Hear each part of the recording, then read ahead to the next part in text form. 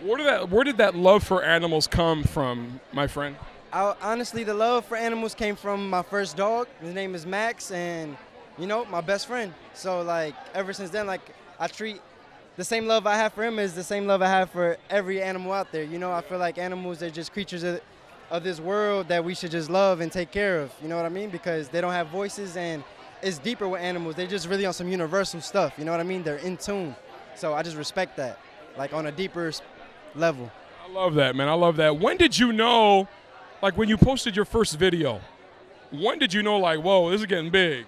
Bro, it was like it's like I kind of posted it, and like in like within three days, I got like 150,000 followers on Instagram. Like press released, like press through everywhere, like millions and millions of views. Like it just kind of just happened like overnight.